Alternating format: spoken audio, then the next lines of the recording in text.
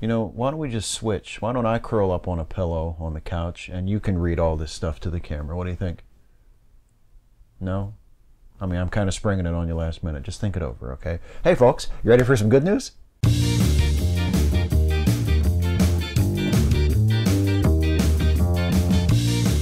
How come you're getting up and trying to leave as soon as I start the video? Is this your response to the, the offer to switch roles? Apparently so.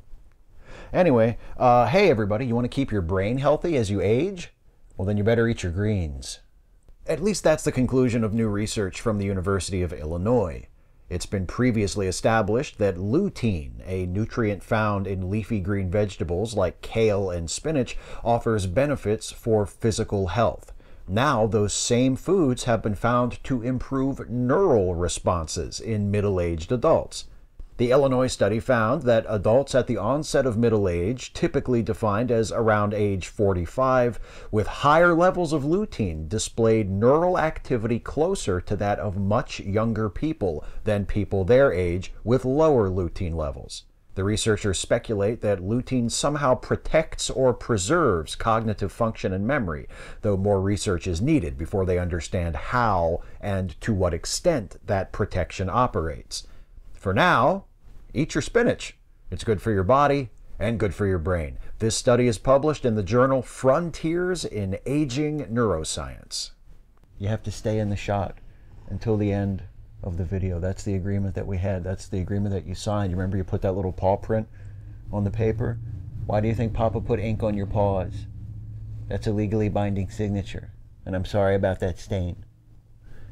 Thank you very much. I'm glad we have an understanding. Anyway, next up, scientists have identified the moment in time when we experience realizations.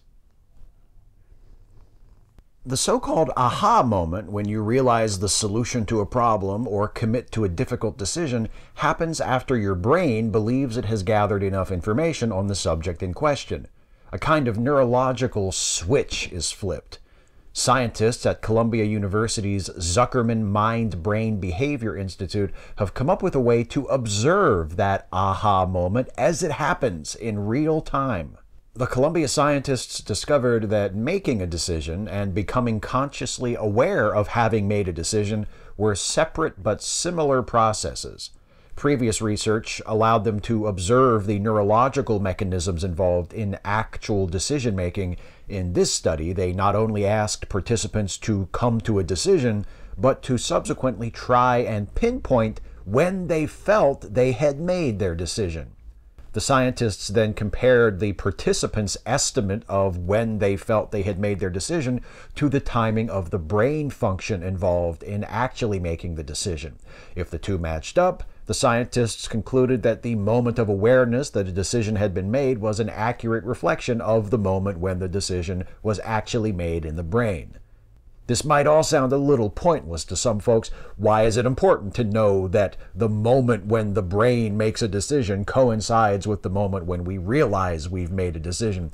But research like this represents neuroscientists laying the foundations for biological explanations of things philosophers have been studying for centuries consciousness, problem solving, ethics, reason. It raises the prospect that someday we will have a combination of physical science and philosophy upon which to draw in order to attain a truer, deeper understanding of our minds and therefore of ourselves. This study is published in the journal Current Biology. Well, she left. She walked out on me. I guess in a way it's my fault, trying to pressure her into taking my job as the host while I curled up on the pillow was not within the bounds of the contract we agreed upon. So, you know, I, I guess I am sort of at fault here, but still, a work stoppage in the middle of production is uh, pretty inconvenient. But I guess there's really nothing else I can do except keep going. So here we go. Finally, I know that Emily Dickinson wrote that the brain is wider than the sky, but I think we should spend a few minutes here at the end of the video talking about the sky anyway, just because I think it's fun. For instance, some astronomers have discovered a group of galaxies who formed less than a billion years after the Big Bang. The galaxies formed toward the end of the epoch of reionization, when the neutral hydrogen that filled the universe was charged by radiation from the first generation of stars.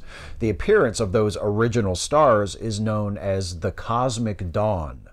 That happened around 350 million years after the Big Bang. The 23 galaxies discovered by astronomers at Arizona State University date to about 800 million years after the Big Bang, or 450 million years after the cosmic dawn. They are some of the oldest galaxies ever seen. The galaxies were found using the Cerro Tololo Inter-American Observatory's Dark Energy Camera, which is specially designed to detect the faint red light from distant galaxies. The paper on the 23 galaxies found by the ASU team is published in the Astrophysical Journal. Hey, look who's back! The strike is over. There may have been some coercion involved, but let's just say the strike is over. Anyway, eating leafy greens can help keep your brain healthy as you age. Scientists capture the brain's aha moment, and astronomers discover almost two dozen galaxies that date to less than a billion years after the Big Bang. That's the good news. There she goes. Are you really going to lay over there just off camera, just to spite me? I, I, I am honestly a little bit impressed. That is a power move. Anyway, thanks everybody for watching. I hope you enjoyed this one. If you did, please like, share, and subscribe. And also, please consider helping me to make more videos like this one by supporting this channel through Patreon. You can go to patreon.com slash Steve Shives to become a patron. Thanks for watching. You are such a weird, strange creature. You know that? How does my armpit taste? That's just weird. I mean, do you have do you have any self-awareness at all?